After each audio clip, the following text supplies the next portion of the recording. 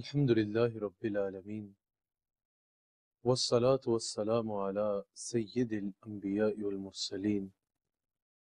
أما بعد فقد قال الله تبارك وتعالى في القرآن الكريم أعوذ بالله من الشيطان الرجيم بسم الله الرحمن الرحيم وإنك لعلى خلق عظيم.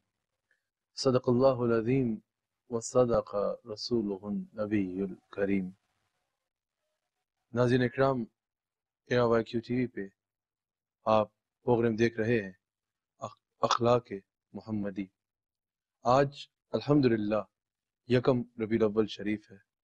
پوری دنیا میں سننے والے اہل ایمان کو، پورے عالم اسلام کو، میں اپنی جانب سے اے وائی کیو ٹی وی کی جانب سے ماہ ولادت مصطفیٰ علیہ السلاۃ والسلام کی مبارکباد پیش کرتا ہوں۔ نثار تیری چہل پہل پر ہزاروں عیدیں ربیع الاول، سوائے ابلیس کے جہاں میں سبھی تو خوشیاں منا رہے ہیں۔ ناظرین اکرام، آج یکم ربیع الاول سے لے کے بارہ ربیع الاول تک روزانہ اسی channel A Y Q T V پر اسی وقت اخلاق محمدی پروگرام میں حضور علیہ الصلوۃ والسلام کے اعلیٰ اخلاق مبارکہ پہ مختلف پہلو اور مختلف جہدوں سے انشاءاللہ روزانہ اس وقت اے وائی کیو ٹی وی پہ میں آپ سے ہم کلام ہوں گا۔ اخلاق محمدی صلی اللہ علیہ وآلہ وسلم۔ اللہ تعالیٰ نے جیسے حضور علیہ السلام کو تمام صفات میں بے نظیر و بے مثال فرمایا ہے، ایسے ہی حضور علیہ السلام اخلاق حسنہ میں بھی اپنا کوئی ثانی نہیں رکھتے۔ ناظرین اکلام اخلاق خلق کی جمع ہے اور لسان العرب میں علامہ ابن منظور رحمہ اللہ نے اخلاق کی تعریف بیان کرتے ہوئے، خلق کی تعریف بیان کرتے ہوئے کہا کہ خلق پختہ عادت اور طور طریقوں کو کہا جاتا ہے۔ پختہ عادت اور طور طریقے کو خلق کہا جاتا ہے اور خلق حسنہ سے مراد نیک خو اور اچھی خصلت ہے۔ اور مسلمان اور مومن کے لیے عمدہ اور حسین اخلاق کا مالک ہونا بے حد ضروری ہے۔ حضور علیہ السلام کی تعلیمات سے یہ ہم پہ واضح ہوتا ہے۔ اخلاق حسنہ میں اف و درگزر، صبر و تحمل قینات و توقل خوش کلامی صلہ رحمی، مہمان نوازی توازو و انکساری خلوص جیسی صفات جمیلہ قابل ذکر ہیں اور اخلاق رزیلہ میں یعنی برے اخلاق میں، غیبت، تکبر، حسد، بغض، جھوٹ، غصہ بد کلامی جیسی صفات نمایاں ہوتی ہیں۔ یعنی اخلاق حسنہ اچھے اخلاق کو کہا جاتا ہے، اچھے طور طریقے، اچھی عادت کو کہا جاتا ہے اور اخلاق رزیلہ برے عادات، برے طریقے اور برے رویے کو کہا جاتا ہے۔ ناظرین اکرام، جیسے خلق انسان کی ظاہری صورت کو کہا جاتا ہے، جو انسان کو ظاہری صورت ہوتی ہے، اسے خلق کہا جاتا ہے۔ اسی طرح خلق انسان کی باطنی صورت کو کہا جاتا ہے۔ اور اگر آپ قرآن کریم کا مطالعہ کریں، تو اللہ کریم نے جا بجا انسان کو اپنا باطن اندر پاک اور اندر صاف کرنے کا حکم ارشاد فرمایا ہے۔ انسان کو اپنا اندر درست کرنے کا حکم ارشاد فرمایا ہے۔ کہ کفالہ پا گیا وہ جس نے اپنے اندر کو پاک کر لیا۔ حضور علیہ السلام کی بھی اگر تعلیمات کا مطالعہ کیا جائے، حضور کی حدیث کا مطالعہ کیا جائے، تو حضور علیہ السلام نے جا بجا ہمیں، بار بار ہمیں اپنے اندر کو صاف کرنے کا حکم فرمایا کہ اپنے اندر کو ٹھیک کرو، اپنے اندر کو صاف کرو۔ اور اندر کا صاف ہونا کیا ہے؟ وہ خلق حسنہ ہے۔ جب انسان اچھی عادات اپنائے گا، اچھے طور طریقے اپنائے گا، اخلاق اچھا کرے گا، لوگوں سے خندہ پیشانی سے ملے گا، آج جو انکساری سے ملے گا کسی کو اپنے سے حقیر نہیں جانے گا، ہر ایک کے ساتھ خوش کلامی کرے گا، اچھے انداز سے ملے گا، تو اس کو خلق حسنہ کہا جاتا ہے۔ اور یقیناً جس نے ایسی عادت کو اپنایا، وہ اللہ اور اس کے رسول کی رضا اس کا مقدر ٹھہرے گی۔ اسلام میں خلق حسنہ کی بے حد اہمیت ہے، بے حد اہمیت ہے۔ یہ اخلاق ہی ہے، جو اچھا ہو جائے تو انسان کے لیے جنت کا رستہ بن جاتا ہے، اور برا ہو جائے تو انسان کے لیے جہنم کا رستہ بن جاتا ہے۔ اخلاق حسنہ میں سب سے پہلے حقوق اللہ آتے ہیں کہ انسان عبادات کرے اور پھر حقوق العباد آتے ہیں کہ انسان اللہ کی مخلوق کے ساتھ رویہ اچھا رکھے۔ تو یہ اخلاق ہی ہے۔ جو اچھا ہوگا تو انسان کو جنت میں لے جائے گا اور برا ہوگا تو انسان کو جہنم میں لے جائے گا۔ اور یاد رکھیے گا، میرے آقا علیہ السلام کے اخلاق جیسا کسی کا اخلاق نہیں ہے۔ میرے آقا علیہ السلام نے اپنے اخلاق حسنہ کی بدولت تڑپتی انسانیت کی غم گساری کی ہے۔ حضور علیہ السلام نے اپنے ازلی اور ابدی دشمنوں کو پتھروں کے بدلوں میں پھولوں کا تحفہ پیش کر کے، پھولوں کا تحفہ پیش کر کے نفرت کے اندھیروں میں محبت اور پیار کی شمع روشن فرمائی ہے۔ حضور علیہ السلام نے اپنے اخلاق کریمانہ سے بغض و عداوت کے بیج کو جڑ سے اکھیڑ کے بھائی چارگی اور محبت کی فضا قائم کی اور یاد رکھیے گا۔ جس طرح میرے آقا علیہ السلام والسلام نے لو، انسان سازی کی، لوگوں کا کریکٹر اچھا کیا، لوگوں کا اس نے اخلاق سکھایا، بھری کائنات میں، انسانیت میں، اس کی مثال ہمیں کہیں اور نظر نہیں آتی۔ اور حضور علیہ السلام والسلام نے اپنے مقاصد بیست کو بیان فرماتے ہوئے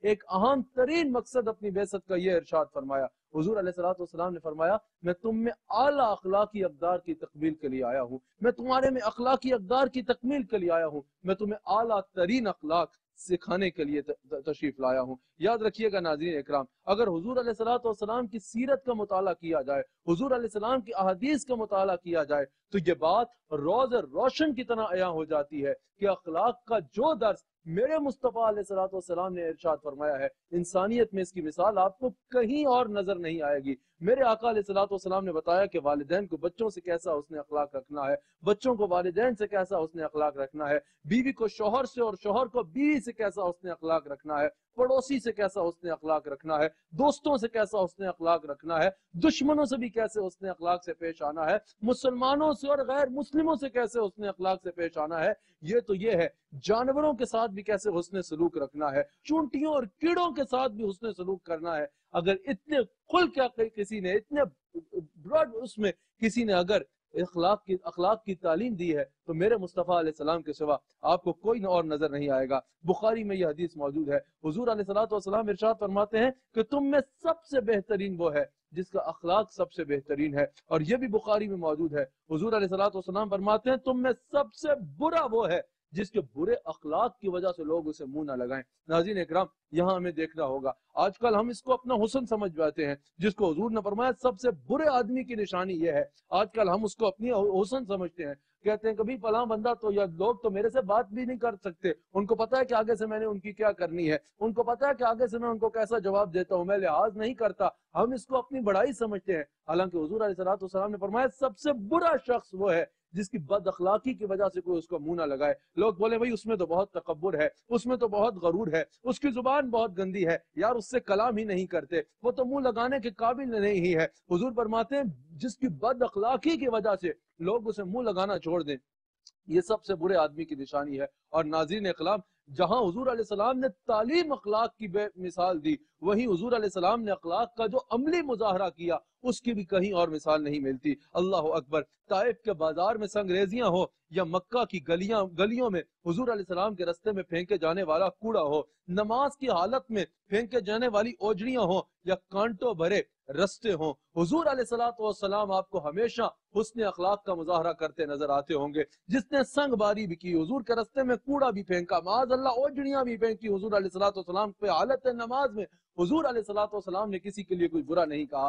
حضور علیہ السلام نے ان کی اس خطا کے بدلے میں بھی یہ فرمایا کہ یا اللہ، ان کی ظلم اور ان کی توہین کے بدلے میں بھی حضور علیہ السلام نے اگر ہاتھ اٹھائے تو یہی کہا، یا اللہ ان کو ہدایت عطا فرما دے، یہ مجھے جانتے نہیں ہیں، یہ مجھے پہچانتے نہیں ہیں۔ ایک بار صحابہ نے حضور سے پوچھا، مسلم میں حدیث موجود ہے، یا رسول اللہ صلی اللہ علیہ وآلہ وسلم، آپ ان کے لیے دعائیں ضرر کیوں نہیں فرما دیتے آپ نے ایک بار ان کے لیے دعائیں ضرر کر دی، ان کا بیڑا غرق ہو جائے گا۔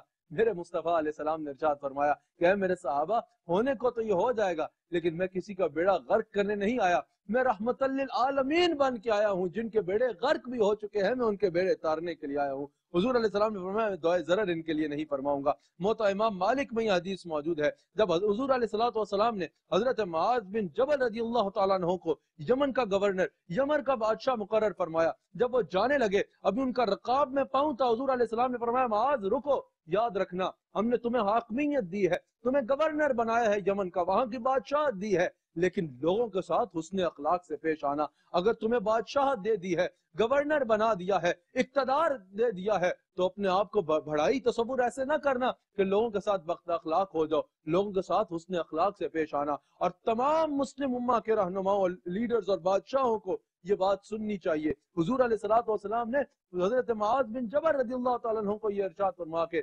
قیامت تک آنے والے مسلم لیڈرز کو بتا دیا کہ اگر مسلم لیڈر کہلاتے ہو، امت مسلمہ کے کسی ملک کا یا کسی طبقے کے لیڈر ہو، تو اپنا اخلاق لوگوں کے ساتھ اچھا رکھنا بد اخلاق مسلمانوں کا لیڈر نہیں ہو سکتا۔ حضور علیہ السلام نے اخلاق کا عملی مظاہرہ ایسا کر کے دکھایا کہ حضور علیہ السلام کا حسن اخلاق دیکھ کے لوگوں نے حضور علیہ السلام کا کلمہ پڑا اور دارہ اسلام میں داخل ہو گئے۔ حضور علیہ السلام ایک درخت کے نیچے آرام فرما رہے ہیں۔ حضور علیہ السلام کا ایک دشمن ایک قرابی آتا ہے، تلوار اٹھاتا ہے اور کہتا ہے کہ اب مجھے آپ آپ کو مجھ سے کون بچائے گا؟ تلوار اٹھاتا ہے اور حضور علیہ السلام کا مخاطب کر کے کہتا ہے، اس وقت آپ میری تلوار کی زد میں ہیں، گویا کہ بتائیے اس وقت آپ کو مجھ سے کون بتائے گا؟ حضور علیہ السلام نے فرمایا، اللہ اللہ بچائے گا مجھے۔ اس کے ہاتھ سے تلوار گر گئی۔ وہ کانپنا شروع ہو گیا۔ حضور فرماتے ہیں، نصر تو روب اللہ نے مجھے روب دبدبے کے ساتھ مبوس فرمایا ہے۔ وہ کانپنا شروع ہو گیا۔ اس کے ہاتھ سے تلوار گر گئی۔ حضور علیہ السلام نے اس کی تلوار کو اٹھایا اور کہا، بتا،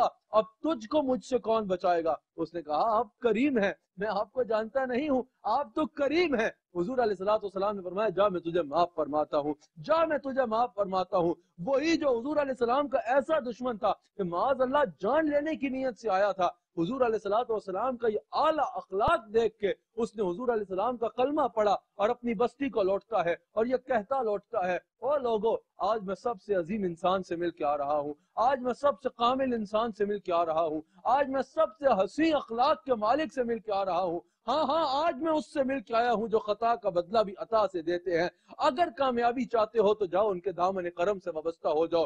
وہ جو حملہ کرنے کی نیت سے آیا تھا، وہ نغمے گاتا واپس گیا۔ یہ کیا تھا؟ یہ میرے آقا علیہ السلام کا اعلیٰ ترین اخلاق تھا، جس نے لوگوں کے دل بدل کے رکھ دیے۔ لوگوں کے دل بدل کے رکھ دیے۔ اللہ کریم ہم سب کو بھی حضور علیہ السلام کا صدقہ، حسن اخلاق اپنانے کی توفیق عطا فرمائے۔ حضرت ابو دردہ رضی اللہ تعالیٰ عنہ حدیث کے راوی ہے ترمزی میں یہ حدیث موجود ہے۔ حضور علیہ السلام ارشاد فرماتے ہیں کہ جب میزان پہ اعمال تولے جائیں گے تو میزان پہ سب سے بھاری چیز جو ہوگی وہ حسن اخلاق ہوگی۔ اللہ اکبر، حضور نے فرمایا، سب سے بھاری چیز میزان میں حسن اخلاق ہوگی۔ اور میرے مصطفیٰ علیہ السلام نے فرمایا، بد اخلاق اللہ کو سب سے زیادہ ناپسند ہوگا۔ حضور علیہ السلام ارشاد فرماتے ہیں، میزان پہ سب سے پہلے رکھے جانے والی چیز امام غزالی نے نقل کیا حیاء العلوم میں کہ میزان پہ سب سے پہلے رکھے جانے والی چیز حسن اخلاق ہے۔ پھر حضور علیہ السلام نے ارشاد فرمایا، حضور علیہ السلام نے فرمایا، جب اللہ نے ایمان کو تخلیق فرمایا تو ایمان نے عرض کی کہ یا اللہ،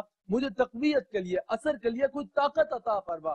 اللہ کریم نے سخاوت اور حسن اخلاق ایمان کو تحفے میں عطا فرما دیا، تقویت کے طور پہ عطا فرما دیا۔ اور جب کفر کو تخلیق کیا تو کفر نے کہا، یا اللہ، مجھے بھی تو کوئی تقویت دی جائے۔ تو اللہ تعالیٰ نے بخل اور برا اخلاق کفر کو تقویت کے طور پہ دے دیا۔ تو پتہ چلا، ایمان والے کی طاقت حسن اخلاق ہے اور بےمان اور شر پھیلانے والے کی طاقت بد اخلاقی ہے۔ بد اخلاق شر کی طرف جا رہا ہے اور حسن اخلاق رکھنے والا اللہ اور اس کے رسول کی بارگاہ میں جھک رہا ہے اور اللہ اور اس کے رسول کے اس کو بلند فرما رہے ہیں۔ اللہ اور اس کے رسول نے اس کو بلند فرمانا ہے۔ حسن اخلاق خود ایک عبادت ہے۔ اگر آپ لوگوں سے خندہ پیشانی سے ملیں گے، لوگوں سے اچھا رویہ رکھیں گے اچھا اخلاق رکھیں گے، تو یہ آپ کا عمل بھی عبادت میں شمار ہوگا۔ ابو داؤد میں حدیث موجود ہے، ام المؤمنین بنت صدیق، حضرت عائشہ صدیقہ سلام علیہ ارشاد فرماتی ہیں۔ کہ حضور علیہ السلام سے میں نے سنا، حضور علیہ السلام نے فرمایا، اچھے اخلاق والا دن کو روزہ رکھنے والوں اور رات کو قیام کرنے والوں کے برابر مقام پاتا ہے۔ اور ترمزی میں موجود ہے، حضرت انس راوی ہے مصطفیٰ جان رحمت صلی اللہ علیہ وآلہ وسلم ارشاد فرماتے ہیں کہ اچھے اخلاق والا آخرت میں اعلیٰ درجے پائے گا اور جنت میں عزت والا مقام پائے گا۔ حالانکہ وہ عبادت میں اتنا زیادہ نہیں ہوگا، عبادت میں کم ہوگا اس سے یہ تصور نہ کیجیے گا وہ فرائض چھوڑ دیتا ہوگا۔ اس سے مراد یہ ہے کہ وہ نفلی عبادت میں اتنا زیادہ نہیں ہوگا، لیکن حسن اخلاق کی بدولت وہ جنت میں عزت والا مقام پائے گا۔ اور حضور فرماتے ہیں، برے اخلاق والا جہنم کی نچلی طے میں ہوگا۔ ناظرین اکرام، آخری حدیث جس پہ میں نے اختتام کرنا ہے، حضور علیہ السلام سے ایک عورت کے بارے میں سوال کیا گیا۔ یا رسول اللہ صلی اللہ علیہ وآلہ وسلم امام باقی نے اس کو نقل کیا ہے۔ حضرت فضیل بن عیاض بیان کرتے ہیں۔ عرض کیا گیا کہ یا رسول اللہ صلی اللہ علیہ وآلہ وسلم ایک عورت ہے، بہت عبادت کرتی ہے، لیکن اخلاق برا ہے، پڑوسی اس سے تنگ ہے کیا اس کے لیے کوئی خیر ہے؟ حضور نے فرمایا، نہیں، اس کے لیے کوئی خیر نہیں ہے۔ اور عرض کی، یا رسول اللہ، ایک عورت ہے، وہ عبادات زیادہ نہیں کر پاتی، فرائض تو ادا کرتی ہے، نفلی عبادت زیادہ نہیں کر پاتی، لیکن اس کا اخلاق بہت اچھا ہے۔ حضور نے فرمایا، اللہ اس پہ ضرور رحم فرمائے گا۔ اللہ تعالی ہم سب کو حسن اخلاق اپنانے کی توفیق عطا فرمائے۔